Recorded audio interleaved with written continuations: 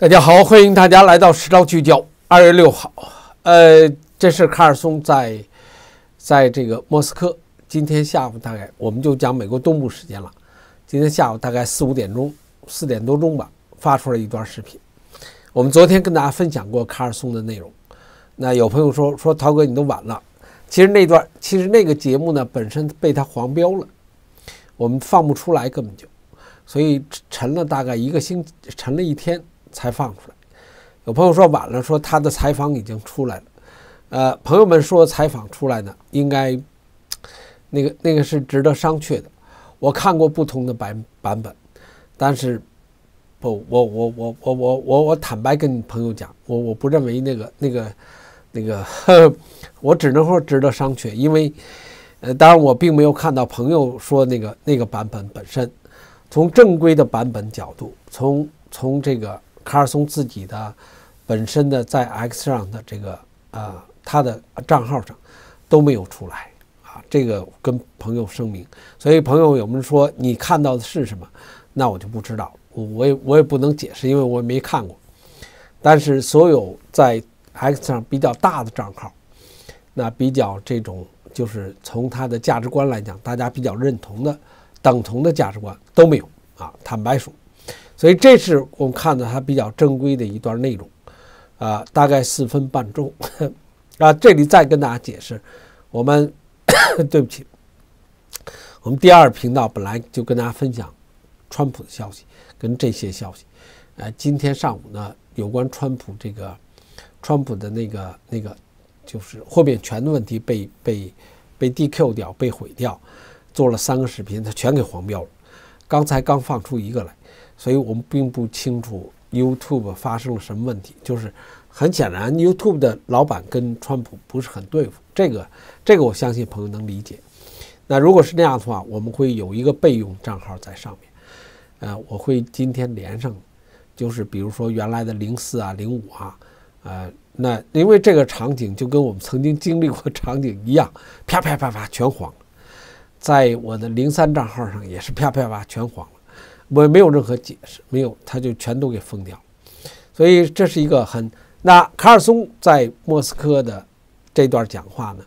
其实触及到类似的问题。他没有，首先他承认，他说他正在采访普京。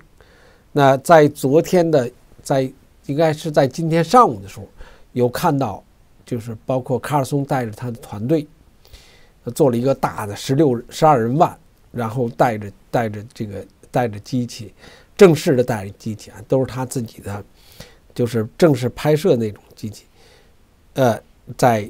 就是在那个从他的酒店出来，进入克里姆林宫那些视频都有，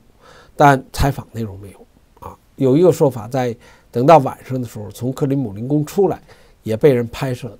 但都没有得到证实。这是他从克里姆林宫出来之后。那个消息出来之后，他拍了一段四分多钟。我简单跟他一下，他讲述什么？他讲述呢，就是呃，乌俄战争四两年多，他认为在西方社会呢，啊，美国人不知道是不知道事情的真相，呃，只听政府一面之词，而主流媒体呢，完全跟政府是是是挂在一起的。这样，作为作为美国人民，他说美国人民就没有没有任何一个渠道。能知道到底发生了什么？他说也没有人知道呢。普京真正的想法是什么？因为全都被封杀了。战争以后呢，也没有任何一个西方媒体采访过普京，所以他是确实是第一人。他说：“他说，但是从作为一个记者的身份来讲，记者的背景来讲，他的责任就是要揭示真相，讲述真相。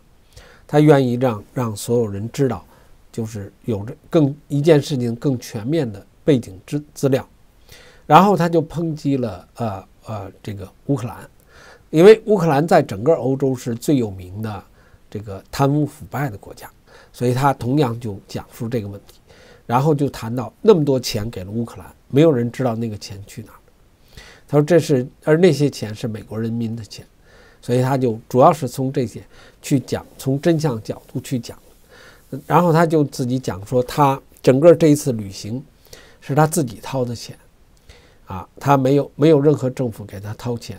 也没有任何呃这个组织机构机这个这个支持过他，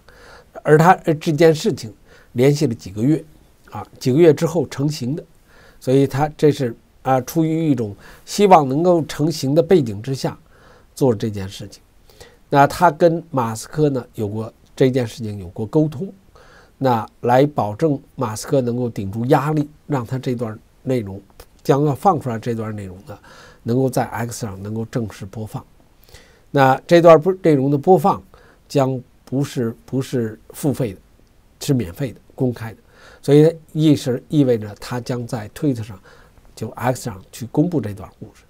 它整体的内容是这样的一个一个概念背景，他只字没有提到对普京的采访内容，那这些都没有，那也没有人知道在他放出这段视频的时候，采访是否已经完成，这个也没有。之前他放过一段另外内容，就是卡尔松在莫斯科那段卡尔松在莫斯科的那段内容呢，啊，他就就是一种街头采访，呃，应该是这个，啊，不是，啊，不是这段，有一段内容是，我有一段内容是，那就不好，是不是？是不是他拍的就没说了？是讲在莫斯科。那媒体采访了一些俄罗斯人，那俄罗斯人呢知道他，就知道卡尔松，那也欢迎卡尔松。当然他是那么拍摄的，呃，因为我们对俄罗斯不了解，到底他的新闻管制的程度和人们他的新闻的真实程度到底到什么程度，我们不敢说。这我只能说确实不敢说。但他的整通篇讲采访了一些老人呐、男人呐、女人呐，不同的不同的这个。当然谈不上，呃，俄罗斯谈不上不同肤色了，啊，基本上就是来对卡尔松很熟悉，然后他们就很赞同、很赞许卡尔松的勇气，赞许卡尔松的胆识，大概是从这些角度去去讲。所以这就是这篇内容我要跟大家介绍内容，呃，因为他这个东西出来之后呢，呃，蛮大的反响，但是。呃，主从主流媒体来讲，也没有敢太去偏离太多，因为，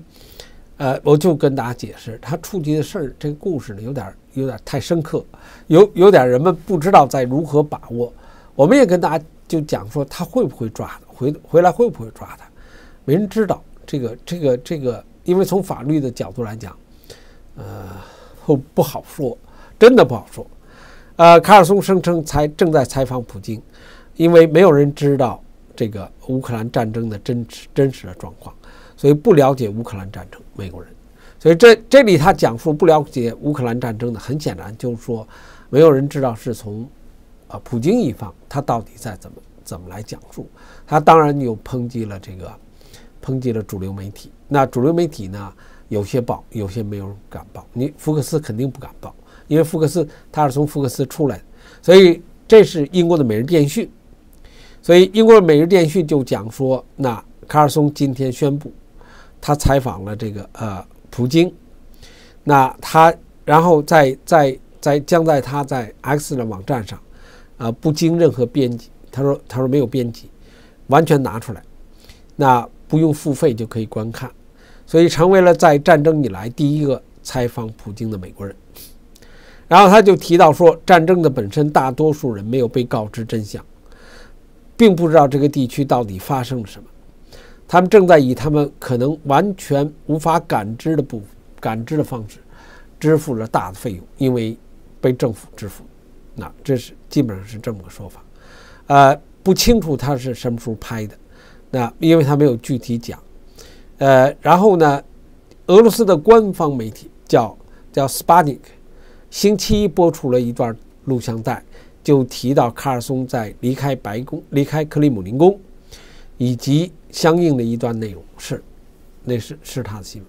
美国人有权知道他们如何卷入战争，抨击了英英文媒体的腐败，然后对读者、观众撒谎，没有他们一他们有责任告知公众是什么。呃，然后提到说呢，他就又提到拜登的呃非法监视他，阻止他采访普京。他说，但是这次我们是来了。我自己掏的钱，没有任何政府团体给我掏钱。那他说，因为我我他说他爱普京，呃，因为这里我们热爱，因我因为爱美国，希望他繁荣自由，所以我们希望有这么一份东西。那马斯克承诺绝不阻止采访，也不会压制播放。那相比之下，西方政府肯定会尽最大努力去审他，这是他们自己所做的。呃，里面呢，所以他他就讲述了背后将会啊将会如何如何吧，大概是。二零二一年六月份，NBC 的记者西蒙斯曾经跟普京有过交流，那 然后自那之后就没有西方记者，所以他认为呢，卡尔松呢认为。这个普京入侵乌克兰以来，我们其实每天都试图采访他，是普京不接受。那而卡尔松认为呢，是西方媒体就是腐败，所以在采访真正内容拿来拿出来之前，那卡尔松先跟主流媒体就直接发生冲突。我我只能跟大家去去讨论这件事情，所以讨论这件事情的，你再往下走呢，它就是一个真相的问题。跟主流媒体冲突的问题，这是我们能看到的。因为再往下走有难度，确实有难度，因为他他我们不知道的背景东西太多了。呃，那就是我们说的，卡尔松是从土耳其入境的，那他们在离美国是否有一些相关的管制规章，这些这些都都是未知数。在在美国的政坛，没有任何人说话。没有任何人敢表态，这个整个其实大家都是等待，在等待，在卡尔松身上会发生什么。所以卡尔松在他的节目中上来就先强调：“我是一个记者，我尽我的责任。”感谢朋友们的支持。